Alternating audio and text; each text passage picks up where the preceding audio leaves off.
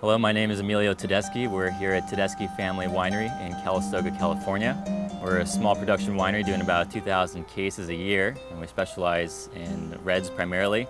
So we're on the property here in Calistoga where my dad was born and raised. His parents came from Italy back in 1919 from Pisa and Lucca, Italy.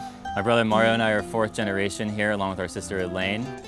So our wines here are definitely going to be a little more in the old world style. So the Cabernet Sauvignon here is all dry farmed. So the dry farming allows the vines to stress a little bit more and that's going to give us a little more intensity in the fruit and ultimately into the wine that we produce here.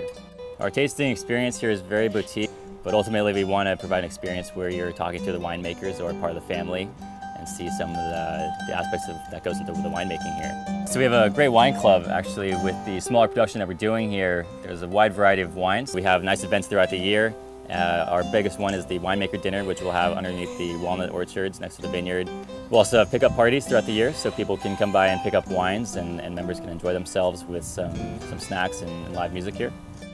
So for your next Old World wine tasting experience, come on down to Tedeschi Family Winery. We're located in Calistoga. We're a half mile south of the Geyser, and we'd love to meet you.